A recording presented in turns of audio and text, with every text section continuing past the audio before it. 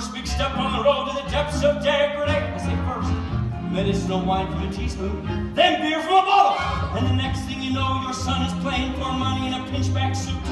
And he's listening to some big out-of-town Jasper hear him tell about the horse race scandal. No, not a wholesome trotting race, no, but a race where they set down right on a horse. Check to see some stuck-up jockey boy setting on Dan Patch to make blood boil, well, I should say. Now, friends, let me tell you what I mean. You got one, two, three, four, five, six. Pockets in the table, pockets that mark the difference between a gentleman and a bum